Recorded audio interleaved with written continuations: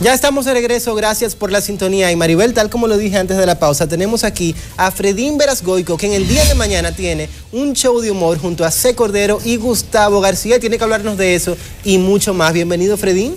Gracias, gracias por la invitación, señores. Como esto es en vivo, no salgan a la calle, quédense en su casa. ¿Por qué? Porque está todo el mundo en la calle. O están todos en sintonía con famosos sí, insights. eh, eh, eso Todo. sí es verdad, eso sí Todo- es verdad. Está todo el mundo, está, no sé qué está pasando, desde que se oscurece un chin, desde que dicen que va a llover, esto se complica. ¿Qué Fredín, asumir el humor, show de humor eh, en vivo con el público, eh, de alguna manera no, no es como un reto muy grande para ti como hijo de uno de los grandes del humor dominicano. Eh, yo, mientras pensé que fue un reto muy grande, nunca lo hice. y después, después solté un poco y me dijeron, relájate, mi hijo, cálmate, no, tú no estás, tú nunca vas a ser igual, nunca vas a llenar zapatos, haz lo tuyo. Y entonces estamos haciendo lo mío, no viéndolo nunca como, como jamás, jamás poniendo por ahí a mi papá, más que lo que aprendí de él, lo poco que yo pueda utilizar, pero no, si, si, si, si pienso en eso me quedo en mi casa. Y en ese sentido, tú has sabido hacer tu propio nicho y darle tu propio estilo al humor. Y mañana tendremos la oportunidad de verte de nuevo en escena junto a C. Cordero y Gustavo García. Cuéntame de esa propuesta en particular. Así es, mañana vamos a estar, estamos abriendo un nuevo espacio para el humor en, Mundo Sobre Ruedas. Ellos tienen un bar al lado que se llama Bar Sobre Ruedas, es un sitio muy íntimo, cabe poquita gente, pero ahí vamos a estar haciendo unos shows de stand-up y entonces mañana es el primero, mañana a las 8 y 30 en Bar Sobre Ruedas que está en el cuarto piso de Acropolis Center, ahí 250 pesitos. Y, y- y vamos a estar ahí Pero ofreciendo. dime del show, dime del show, qué es lo que tú vas a tratar, cuáles son los temas, Ah, porque no, ahí pero siempre son como temáticos. No, es stand-up. Tú sabes que yo, es stand-up que es lo que se está haciendo ahora, el humor que se está haciendo ahora que me encanta, porque desde hace mucho tiempo que todos somos humoristas stand-up, nada más hay que ir a un colmado. Exactamente. Que- Y ahí tú te vas a encontrar con cinco humoristas stand-up. Entonces, este humor de pie, como se llama en español, pues lo que te permite contar ciertas cosas, ser, es un humor narrativo. Y entonces ahí yo voy a hablar de todo, desde lo que es ser gordo hasta mi familia, hasta un análisis coprológico, me dice de todo, Ve- veo ahí algo que tiene que ver con el aguacate, ¿no? con el aguacate. Ese es un show de humor, es una parodia que él hizo del himno al aguacate con C. Cordero y la pusimos de imagen de apoyo, porque Ah, C. Cordero ya, lo va a no, acompañar no. mañana. No, eso ¿El no tiene aguacate nada- no va? No, eso no tiene nada que ver, eso es una parodia de, de la alarma de la mañana. Pero que ahí está Cordero, de las pocas cosas que salimos. Una, una, una pregunta ya relacionada, que ya que eres tú que menciona la alarma, eh, me imagino que la radio habrá ayudado de alguna manera a tener ese contacto todos los días con el público, tener que estar hablando todos los días y además de alguna manera entreteniendo y haciendo reír. Eh, ¿Te habrá preparado más para tomar la decisión de convertirte en humorista? Eh, sí, no, realmente no sé, como en, en mi cabeza son dos cosas eh, eh, eh, separadas, pero sí, sí te puedo decir que la radio me permitió saber que me aceptaban, me permitió saber que, oh, pero mira, la gente se ríe con lo que yo hago, la gente, y entonces al ver la audiencia, al ver el rating que tiene la alarma y el tiempo que tenemos, pues eso vamos a decir que sí que me ayudó en cierto modo a tomar la decisión de, de- de hacer el stand que la primera vez que lo hice no me salieron la- ni el aire, yo no podía ni respirar.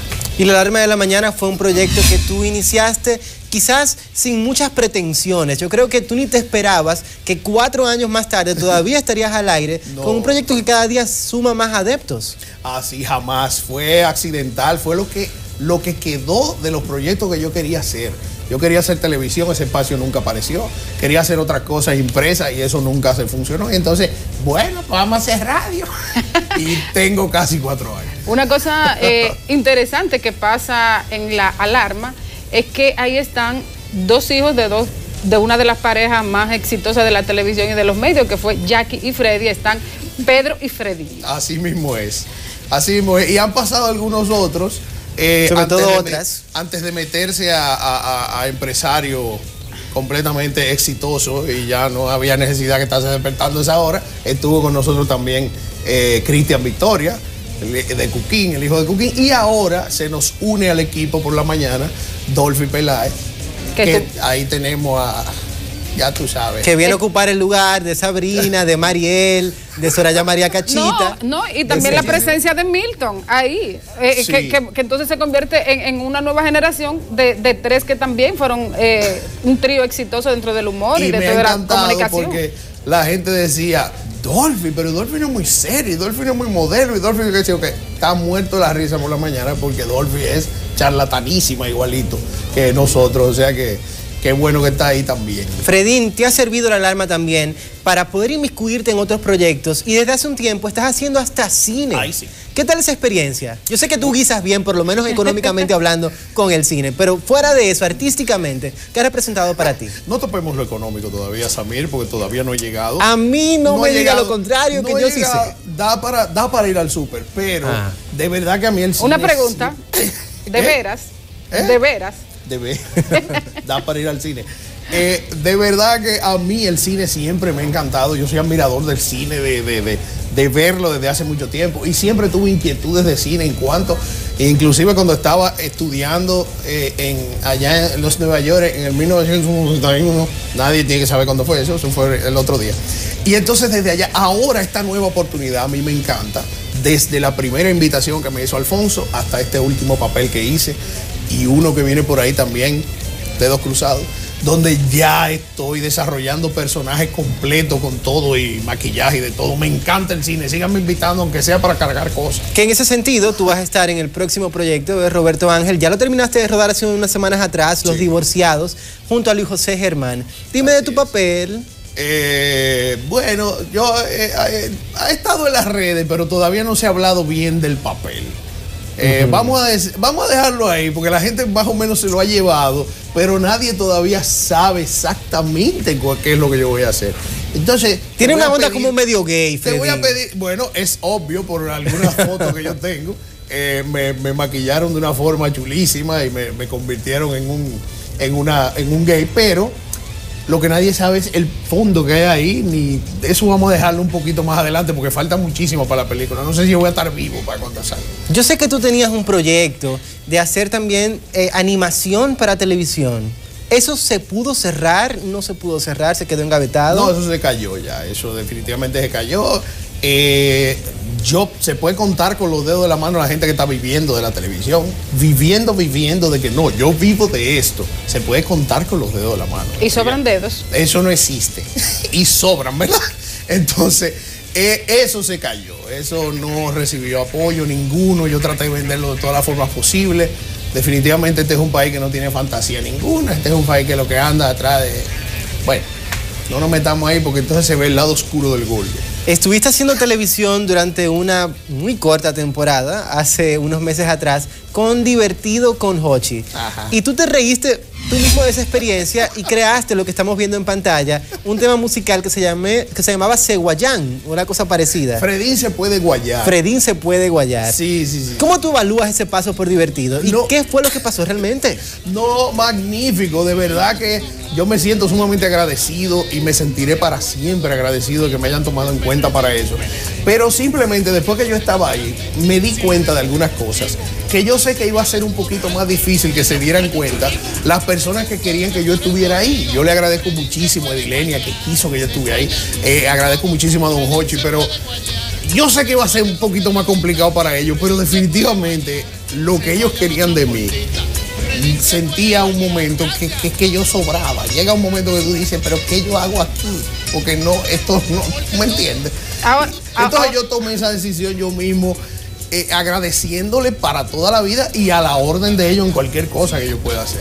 Ahora, eh, cantando sí que se parece Fredín a, a su papá, se parece a, a- a las, a lo- a las cosas que él grababa, ¿no? Bueno, y, Eh, ta- y también a su mamá un poco, ¿eh? O sea, no. porque No, no, no, no, no, a su mamá. imagínate no. tú. No, no, no, imagínate respeto tú. para Luchi, respeto para Luchi. Yo cantara con mi mamá. No, no, pero tú entonas bastante bien, Fredín. Deja la, modestia a un lado y tu hija, por supuesto que sí. Gaila Mi también heredó eso. voz- mi hija tiene una voz lindísima. Yo te doy un karaoke decente. Y ahí yo aprovecho eso y escribo mis parodias y entonces son las que la gente escucha en la alarma. Eh, son mis parodias, pero, pero jamás como Doña Lucha Vicioso. Que hubo una parodia, de hecho, muy exitosa que quizás tampoco tú esperabas que fuese tan así, que fue la de Candy Crush. Esa, vaina- esa cosa le dio la vuelta al mundo en cuestión de horas y mucha gente parodió tu propia parodia en todo el Eso es mundo. lo que se llama un chepazo. No hay otra forma de decirle, porque ¿Cómo ni siquiera fue una idea? parodia. Esa, no, no, no, eso, yo empecé a jugar el fuñío Candy Crush y me desesperó de una forma increíble. Y entonces llegó un momento que yo dije, yo no puedo jugar esto, yo no sé cómo la gente juega eso. Y me tomé literalmente dos horas en mi casa, en el estudio que tengo ahí, digo, estudio no, yo computadora con un micrófono. que yo tengo ahí. Dos horas lo escribí, lo canté, lo toqué, le di a la guitarra para, hacer, para llevarlo al otro día la alarma simplemente. Y eso agarró en YouTube y hasta me llamaron de Argentina para hacerme entrevistas. Me, sobrepasó el millón y medio de, de views. Eso es lo que se llama una chepa. Eso no se vuelve a duplicar más nunca. No, No, importa pero- lo que yo pero- haga. ¿Quién sabe? Eso no, eso no es una chepa, eso es el fruto de tu creatividad y de tu talento. Bueno, pero que ya yo claro, escribo- tú no esperabas la reacción. Yo he escrito como 10 parodias, después no han pasado de mil views, dos mil. Bueno, pero es que eso cada cierto tiempo se da, no significa que no se vaya a repetir. Sí, Estaba viendo un video donde nuestro compañero Checho Lora decía hace un tiempo aquí en CDN que Fredín Verasgoico es quizás uno de los talentos más grandes del medio artístico dominicano, sin embargo ha sido desaprovechado. ¿Tú lo entiendes así también, Fredín? ¿Tú entiendes que ha sido un poco desaprovechado? Es- eh, Sí, pero por mí. Ah, ok. Vamos a decir que la culpa es mía, porque yo eh, eh, eh, tengo unos eh, lineamientos, tengo unas visiones, tengo unas costumbres que ya no van como se está moviendo esto. ¿A qué te refieres? Yo no me sé vender yo. Yo no puedo llegar a un sitio y decir saludos. Yo soy el que andaban buscando, yo soy lo mejor que va a pasar por aquí. Yo no puedo. Y eso es lo que está de moda ahora. Hay que venderse, hay que Pero- tirarse en las redes, pero si hay tú que lo- verse bonito. Pero si que- tú lo dices relajando, la gente te lo cree. Se, Sí. se trae de la risa y, y se, y se va a asegurar de que eres tú. Sí, yo entiendo, pero no, es que yo no me sé vender, yo no sé eso. Entonces, esperando y esperando y esperando y esperando que me descubran, pues sí, yo lo, yo desperdicié muchísimo tiempo, ya ahorita, ahorita yo no puedo ni caminar de la vez. Pero ahora, pues gracias a la alarma me he puesto medio sinvergüenza, estoy ofreciendo, por ahí vienen obras de teatro, por ahí vienen guiones escritos por mí, por ahí vienen una serie de cosas, agarrando lo que pueda todavía. Yo no diría que es uno de los más grandes talentos, pero ojalá la gente le guste. Lo eres, deja la inmodencia. Freddy, nos tenemos que ir, pero antes de que te- nos despidamos de ti, por favor, recuerda a la gente del show de mañana los detalles. Mañana humor en eh, Mundo sobre Ruedas, en el bar sobre Ruedas tenemos stand-up sobre ruedas. C. Cordero, el señor Gustavo García y un servidor. 250 pesos la entrada, es un sitio pequeño. No hay que ir en patines. Cuatro, no, y la gente está confundida, yo no me voy a montar en patines. Muy bien, muy Ah, bien, muy yo te apoyo en eso. Pero- Gracias, Fredín. 8 y 30. Gracias, a Fredín, ustedes. un éxito mañana. A que sea así. ustedes, a ustedes. Nos vamos a la pausa, regresamos en breve, no se muevan.